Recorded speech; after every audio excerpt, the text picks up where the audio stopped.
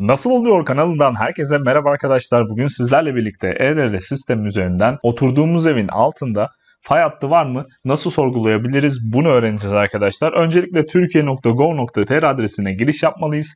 Daha sonra şuradan giriş yap bölümüne basıyoruz. Açılan alanda TC kimlik numaramızı ve e şifremizi yazarak giriş yap bölümüne basıyoruz. Sisteme giriş yaptıktan sonra merhaba size nasıl yardım edebilirim arama kutucuğu mevcut.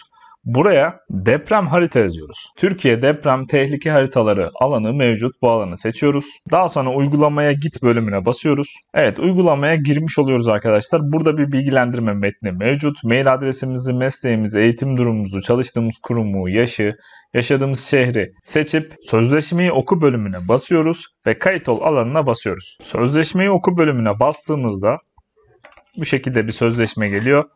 Kabul et alanına basıyorum. Daha sonra kayıt ol bölümüne basıyorum. Açılan alanda bir Türkiye haritası karşımıza geliyor.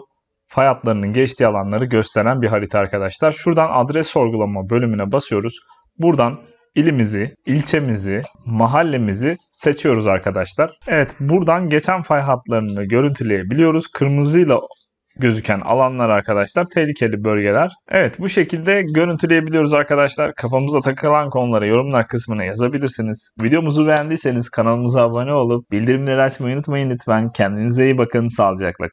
Nasıl oluyor? Ne? Ne? Nasıl oluyor? Nasıl? Nasıl? Nasıl oluyor? Nerede? Nerede? Nasıl oluyor? Anlamadım ki. Nasıl oluyor? Anlamadım ki. Nasıl oluyor? Anlamadım ki. Nasıl oluyor? Her şeyin cevabı kanalımda.